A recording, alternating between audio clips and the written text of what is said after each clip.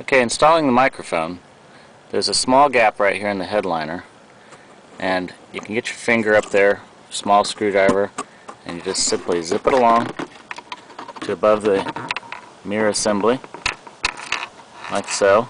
And then I've zipped it along here, around through here, then it's here in the side. And you can see I'm doing all this without any tools whatsoever.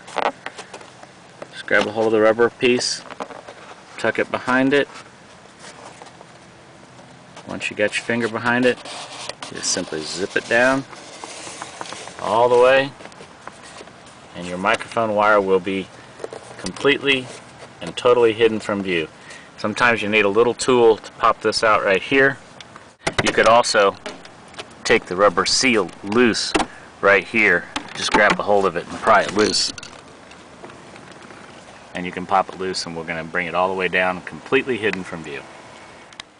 So now without using any tools whatsoever